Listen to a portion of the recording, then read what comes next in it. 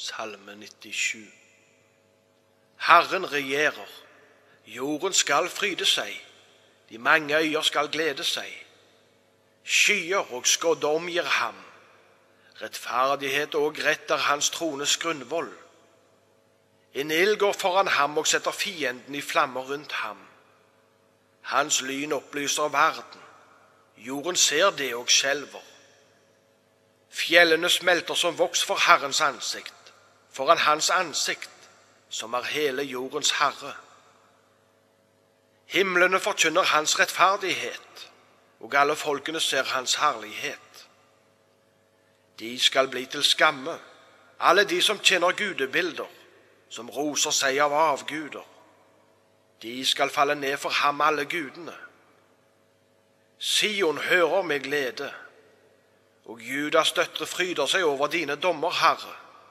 For du, Herre, er den høyeste over hele jorden. Du er høyt opphøyet over alle guder. Dere som elsker Herren, hat det onde. Han bevarer sine hellige sjel. Han frir dem ut fra de ugudeliges hånd.